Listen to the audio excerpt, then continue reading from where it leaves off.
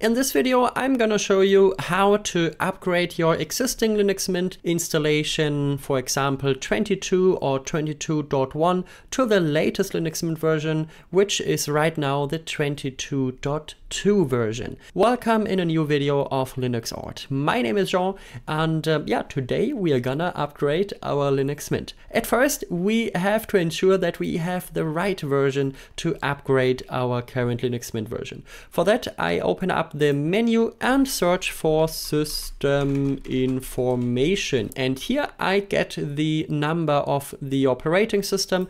I have Linux Mint 22.1, so this is right, and also Linux Mint 22 is right. If you have a lower Linux Mint version like 21.3 or even lower, then you have to do multiple steps to upgrade to the latest version. I put you the corresponding videos into the video description.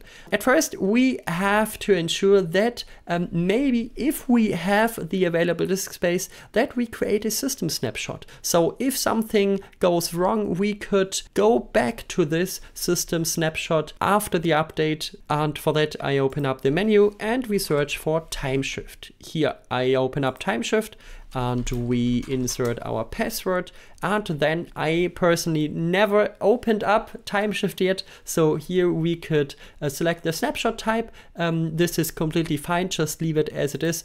And then it is estimating our system size. This takes a moment. And this is right. I hit next. And then I can select snapshot levels. I personally don't recommend timeshift as a daily basis. Maybe if you want, but only if you want at a monthly basis. I also did a video about timeshift one year ago. I put you it also into the video description. But for this upgrade, um, it could be very useful to do a manual snapshot. So I personally don't select any uh, snapshot level here and hit next. And here we have our user home directories. Please exclude all files of these. You should do backups of your home directory or your personal files uh, with, for example, Pika Backup or some other program please do not use timeshift for this.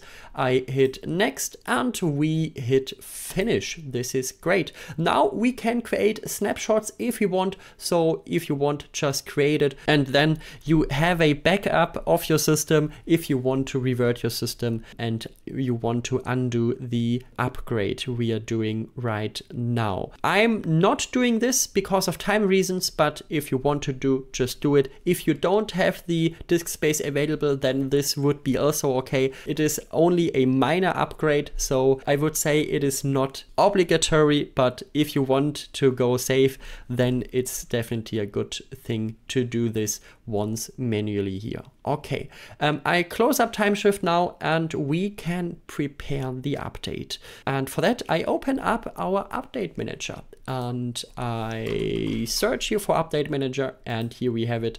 And here in our update manager, we have to ensure that there are all upgrades and updates applied we have available here because especially for example the cinnamon spices, so your cinnamon extensions, applets and so on, they have to be um, up to date because otherwise your desktop might not start anymore uh, the next time you boot. So um, this is very important that your system here is completely up to date.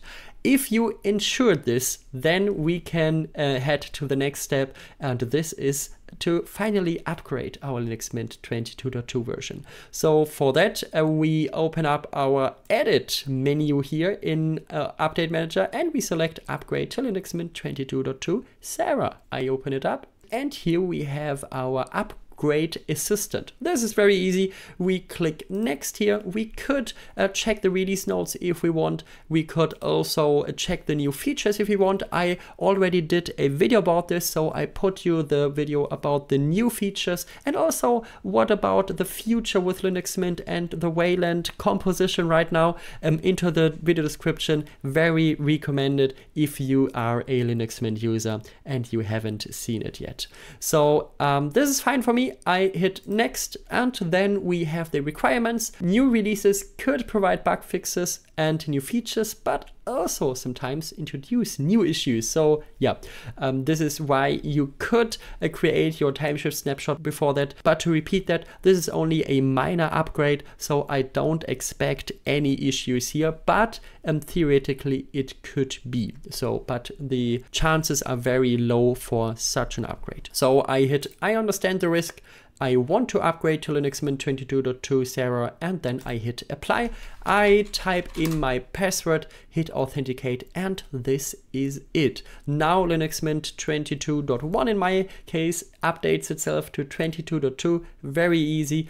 And uh, this takes just a small moment, maybe about 5 or 10 minutes, and afterwards your Linux Mint version is the latest one and you can enjoy the new features. So this was it, very quick, how to upgrade your existing Linux Mint 22 version to the latest one. And we expect one additional update in the next future. So I guess around Christmas or maybe around New Year's Eve, we will see Linux Mint 22.3 for this, we of course also provide new videos also about the new functionality then. So make sure if you don't want to miss that to subscribe to this YouTube channel. And if you found this video helpful, please leave a like also. This would be very great and would help us a lot. This was it. Thank you very much. See you next time. And until then, enjoy using Linux Mint.